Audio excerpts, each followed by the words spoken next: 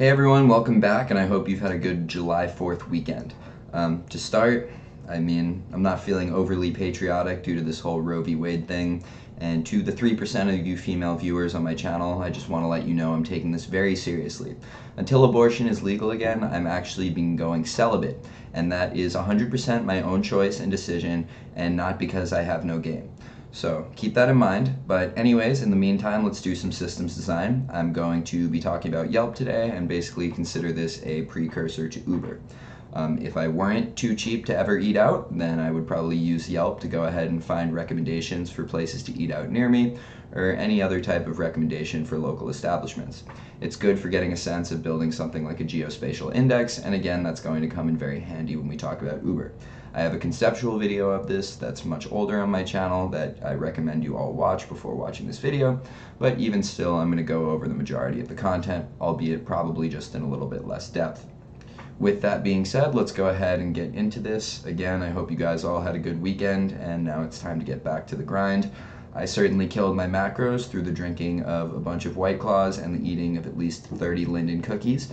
But nonetheless, we're back on it, boys. Let's go.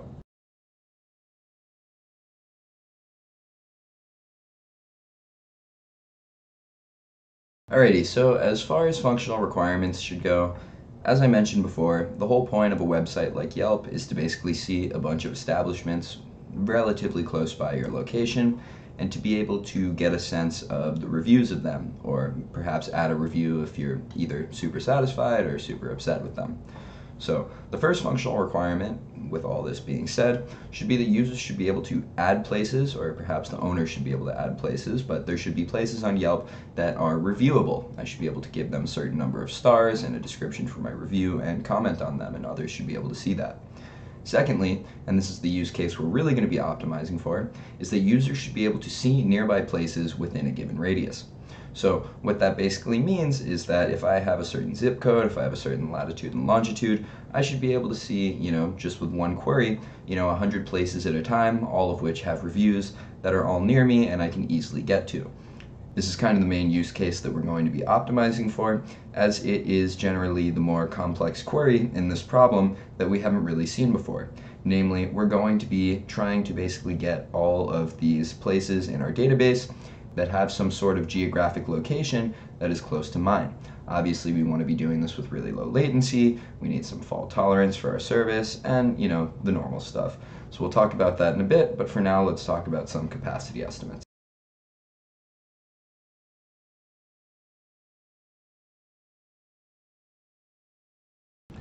Generally speaking, Yelp is a pretty read-heavy application. Like I mentioned, we're going to be optimizing for the use case of let me see all the places nearby me, let me check out reviews of them, as opposed to something like writing a review or actually updating the location of a given place.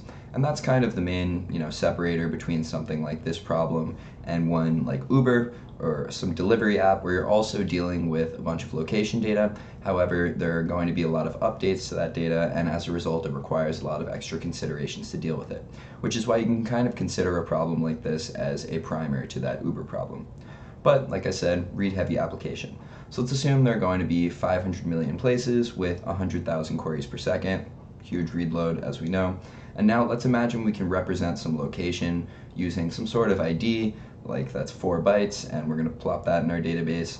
And then, you know, if we have four bytes for that location ID, and then maybe four bytes for like basically um, a location ID that represents kind of the geographic data of that place, then basically we're imagining it's going to take 8 bytes to go ahead and store some sort of place in this geographic index that we're going to be building. And then ultimately 500 million times 8 bytes is going to be 4 gigabytes. So we could put all of this information on one machine, but we're going to still talk about sharding to potentially spread out the load of these requests and um, go ahead and speed things up because obviously we want really low latency.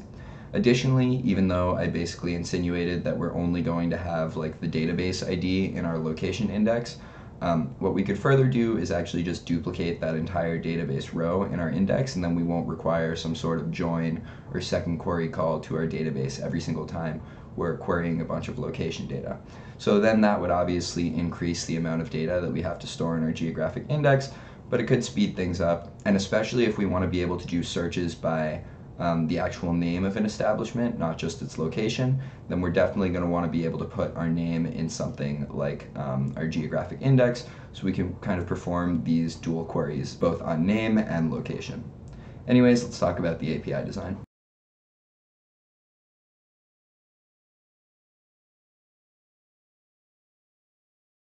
So for our API, I can basically think of three endpoints where the last is going to be the most important. The first is going to be to add a review to our service. That's easy enough. We basically have this, you know, location ID where a location is something like a restaurant or a massage parlor, anything that might be on Yelp that is reviewable. We also have a user ID because the user is going to be adding the review. We're going to have to join on that user information in order to basically say what user was actually reviewing the place, um, a number of stars for the review, and then also the actual text content of it. So simple enough. Um, kind of trivial, and we're not going to be focusing on it that much because that's just you know normal like REST endpoint type deal. Um, additionally, we have adding a location. So this is one of the things where we're going to be writing to our database with um, a certain establishment that has a name, a latitude, a longitude, a description, and something like a category in order to help filter things down a little bit more on our searches because like I said, this is kind of more of a search-based website. Everything the user does is going to be querying for certain locations that fit a bunch of parameters. And so, you know, the concept of a search index starts popping into your mind, we're probably going to need one of those. But even still, we should kind of break down the algorithm that's going to be used here in order to do the geographic part of the query.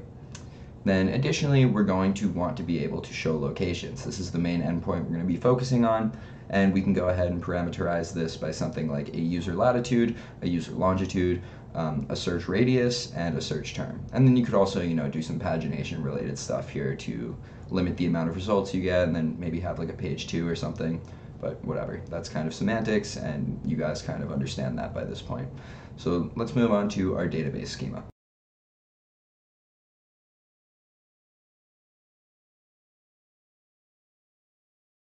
In terms of the database tables that we're probably going to need at one point or another, um, we're obviously going to have this concept of a user, which is going to have like a user ID and an email. Maybe we would also have something like a type, like owner, or just, you know, typical customer.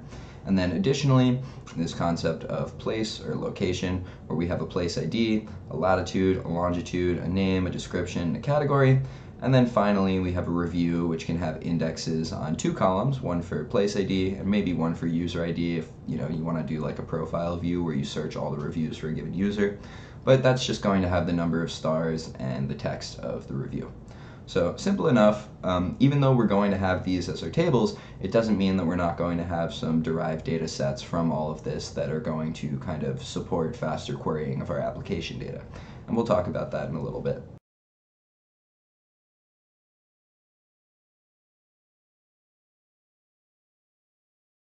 All right, let's talk about how we can now go ahead and kind of create an optimal solution here for this Yelp problem to go ahead and find a ton of points near a given user. So I'm going to kind of preface this all by saying I'm a visual learner, and I'm sure many of you guys are too, and I think it's going to help a lot if I kind of use the whiteboard here to pair with this problem and demonstrate to you guys how we're best going to solve it. So to basically preface everything, I am basically going to say I am point J on this 2D plane that I have pictured on the whiteboard. And I have a bunch of points around me. And what I want is to find all the points within a given radius, so that's going to be some sort of circular area. So as you can see, I have my circle basically on that 2D plane. Now, what if we were to basically have it such that all of the points on our 2D plane, we're just in a traditional database, right? So we're using some sort of index that is comprised of either an SS table, an LSM tree, or a B tree. And to remind you all, what that means is we have basically very efficient range queries on fields that we have indexed. And as of now, basically all of these points has a latitude and a longitude, where we can basically just imagine the latitude and the longitude are kind of like their x and y coordinates.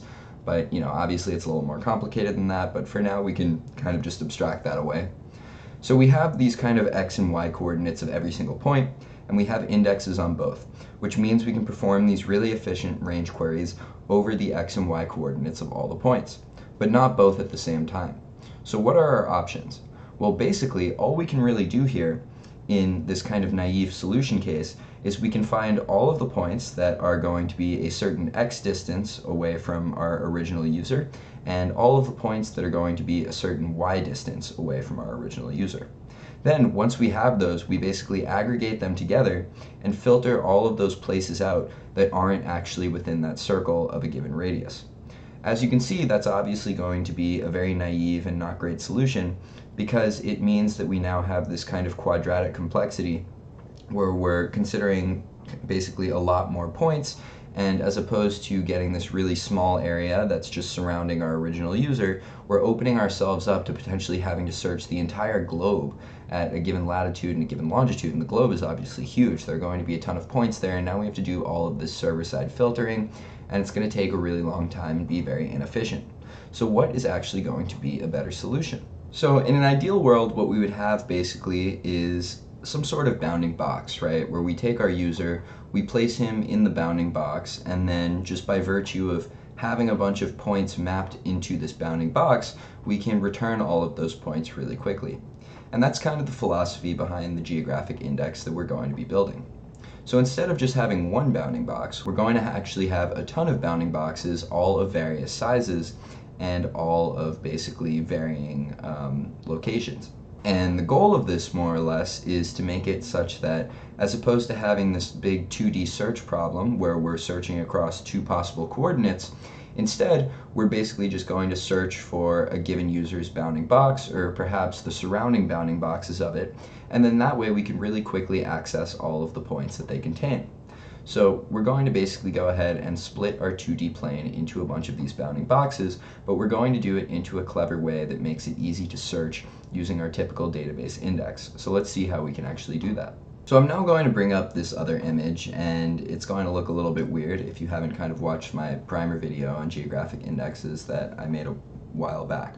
But basically the premise is this. As you can see we have this entire 2D coordinated space split into a bunch of boxes and each of those boxes can have sub boxes, and each of those sub boxes can have sub boxes. And the premise is this, more or less.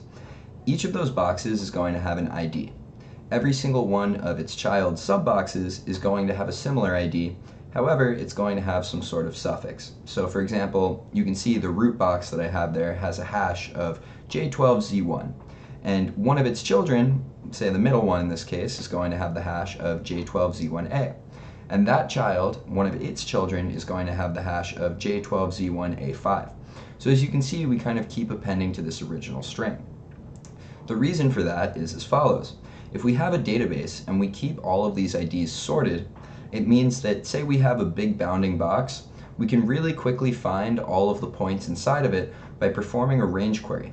So for example, if I wanted to see all of the points that I've drawn out in this part of the coordinate plane, I can go ahead and perform a range query from J12Z1 to J12Z2. And that way I can get every single one of these points contained in that big bounding box. Additionally, it means that we, if we want to basically get one of the smaller bounding boxes, we know that all we have to do is append some sort of suffix to it, and we can really quickly search through our database index knowing that everything is sorted. Um, and this gives us really great time complexity such that we no longer have to do this 2D search anymore, and it completely lowers the search space if we're trying to look for a point. So what I have drawn out here below is known as basically a geohash. And typically in a geohash, what you'll see is something like each bounding box will have nine children, but you may have also heard of something known as a quad tree, where each bounding box has four children. And the way you would delineate a child is by taking basically the hash of the parent node and then adding um, either a 0, 1, a 0, 0, or a 1, 1, or a 1, 0 to it, delineating one of the four directions that the child node could basically be in. And then what you can do is you can take all of the sizes of the squares and normalize them such that for a given length of the hash, we actually know how big that bounding box is, and that's going to give us a lot of really cool capabilities. So now basically, if you know we're looking at user J and we want to find all the places within, say, a three mile radius, what we can first do is find the actual geohash of user J from the lat long, and that can either be something that is kind of cached in a database, or it can be calculated on the fly, which isn't too hard because basically this entire thing is effectively a tree. And so as a result, if we're searching for the geohash for a given lat long, we can do that using logarithmic time complexity. And so once I have the geohash for a given point, we can use the surrounding bounded boxes in order to find all of the points or locations that are nearby. And that's going to be super useful and it's very fast to do. You may note that um, it's very possible that user J is at the edge of a bounding box, so we may have to consider multiple bounding boxes that are neighbors of it in order to make sure that we're really encompassing all of the nearby points. And that's something that's relatively easy to do if you just keep using bigger and bigger bounding boxes and then do a little bit of just logic as far as picking the right neighbors. This is also something that can be parallelized, so it's relatively easy to do overall. Okay, so now that we've basically talked about our main algorithm about how we're going to find the surrounding neighboring points given the latitude and longitude of just one point, let's quickly touch upon some other things as the actual technology that we may want to be using to hold our geographic index as well as some things like partitioning and replication, because that's definitely going to be important for supporting very high read throughputs. So firstly, as we can see, um, you can use something like a traditional database and put a geographic index in it. I know that Postgres definitely has a feature in order to do this kind of geographic indexing. However, if you do recall, I mentioned that one of kind of the parameters of this problem was that not only are we going to be searching on geographic location, but we're also going to be searching on the actual name of the place. So with this in mind, perhaps what we're best off doing is actually using a search index to perform this functionality. The reason I say this is that something like Lucene, which I mentioned in our previous video, has a ton of functionality that can all be integrated in order to perform very complex searches. So not only can Lucene basically support a geographic index, but you can also store the actual name of the place within Lucene. And by virtue of doing so, you can kind of cross-reference both the name and the geographic location in order to perform very good searches that will basically give us quick results. Obviously, it's going to be the case that since we have such read-heavy workflows, we're going to want a lot of caching abilities in order to basically store the results of certain calls and like I mentioned, what Elasticsearch will do is if you're making these kind of compound queries where it's like, hey, both filter on geolocation and filter on name, you may be able to even do it such that you can kind of just cache you know, part of each query for later reuse. So perhaps you could just cache the geolocation part, and then, you know, as people kind of type in different um, actual search queries, you can use that cache geolocation query and then kind of combine it with the filter of the search term. But anyways, yeah, I mean, that's kind of just my motivation for trying to use a search index here as opposed to just using something like Redis, which I'm not sure has the functionality to combine something like a text search and a geolocation index. It may, but I just haven't really looked into it. But additionally, we have to make sure that um, if we're having a search index, it's up to date. Our search index is not going to be our primary database for a variety of reasons, one of which being that um, the data just isn't as durable in there. And so as a result, we want to make sure that any changes that we make um, to any of our Yelp locations are going to eventually be reflected in the search index. It's not overly important that those are instantly reflected, and we definitely can't have strong consistency without something like two-phase commit, but we can either use something like a batch job to go ahead and update our search index, say once a day with all of the changes from the database, or perhaps even better if we want to make those changes visible quicker is to use some sort of stream processing. So every single time that our locations database gets updated, and we can just use like MySQL as um, a database there for all of our Yelp restaurants or anything like that, we can go ahead and stream that change data from our MySQL table to our search index and that's how we can actually keep things nice and up to date and that's a pattern that I've you know implemented many times in some of my designs on this channel and I think it's very feasible here. As far as partitioning goes, this definitely deserves a discussion because you always want to be very careful partitioning your geographic data in a way such that it makes a lot of sense for your end user and getting the lowest latencies possible. So one really intuitive way to partition things is again, whenever we're, we're sharding data, we want to keep in mind that we want basically all data that's going to be returned in the same query as close to one another as possible. So if I have a bunch of restaurants in our search index, we want it to be the case that all of the restaurants that are close in proximity to one another are going to be on the same node. It is very possible, however, though, that this is going to lead to hotspots, right? So say I were to basically say all of the points in this bounding box should be going on one given node. in our, say, search index cluster. It's very possible that if it happens to be the case that that bounding box was downtown Manhattan, there are going to be, you know, hundreds of thousands of points potentially in that relatively small bounding box. And so as a result of that, we kind of want to be doing this sort of dynamic sharding where we want to make sure that there aren't any hotspots and if one node were to kind of be overwhelmed by too many places on it, what you would then instead do is basically use a smaller part of our um, quad tree or our geohash and use a smaller bounding box as the thing to kind of shard on. So in that sense, we're not using fixed size parts of the grid to shard, but rather maybe shard based on, hey, as soon as this part of the grid has too many locations in it, we should split that into its either four or nine child pieces and then in turn shard those. Obviously, it's going to slow down certain queries in the sense that we may have to do some aggregating over multiple nodes in our search cluster, but at the end of the day, we don't really have any choice. Additionally, like I said, we're going to be having a lot of caching, and that can help kind of mitigate hotspots in the sense that, you know, if me and a million other people are trying to see our Yelp results for downtown Manhattan, the cache is going to be returning most of those, and it can kind of hide all of that user load from our actual search index itself. As far as replication goes, we obviously do want to ensure fault tolerance. However, since we're not really dealing with the need to have super high write throughput here, and nor are we dealing with the need for strong consistency, something like asynchronous single leader replication I think suits this problem well, both for our databases and our search index, and you know, cache and all of that, which can just be LRU, by the way, because I haven't mentioned it yet. Alrighty, I got myself a nice little minimal diagram here, so let's go ahead and walk ourselves through it. First of all, if we're the client, we're going to hit a load balancer every single time we have some sort of request to make. Uh, we can make that redundant through some sort of active-active or active-passive configuration there. Um, I'm assuming we're going to talk about the write path first. So let's imagine I'm adding a new place to our database or adding some sort of new review. Um, we're going to first hit our write service, which we can basically horizontally scale out, hence the load balancer. And then the first thing that's going to do is just hit our SQL table, which contains all of the reviews and locations. And you know, we can obviously have separate tables for that.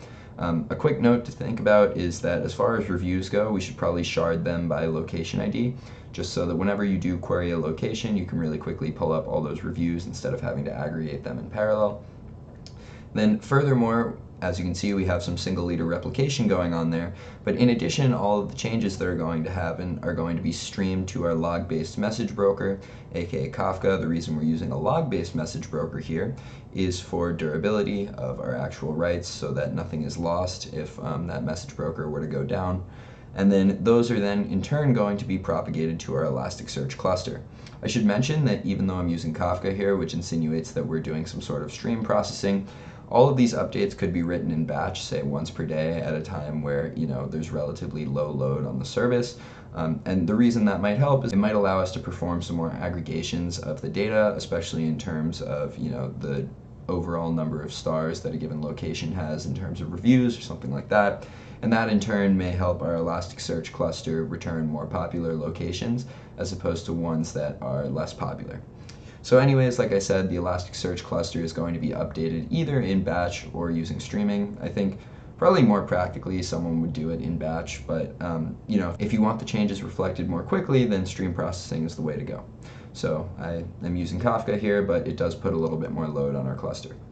So anyways, the Elasticsearch cluster, then anytime the user is going to make a search for nearby locations, is going to basically go ahead and search through its shard for a given location's grid, and especially if that query needs to be expanded because either there aren't enough places or uh, the location that we're searching for is at the edge of the grid we're checking, then you can basically parallelize this query by checking the grids on other nodes of the cluster. Um, obviously, whenever we're doing some sort of sharding, we want to be using basically some sort of consistent hashing scheme to make sure that everyone is getting relatively even load in terms of the nodes in the cluster, at least relatively even load proportional to their compute capacity. Anyways, once those search results are returned, they can basically either be in the location cache or not, and either way, um, they're going to hit the search service and be returned back to our client. Okay, so that's all for the diagram. I hope you guys did enjoy this video. Um, after this, we are basically going to do Uber, which is not dissimilar to this problem, so we can hopefully breeze through that relatively quickly. And then also Ticketmaster, which is interesting because it starts to touch upon the subject of distributed locking a little bit.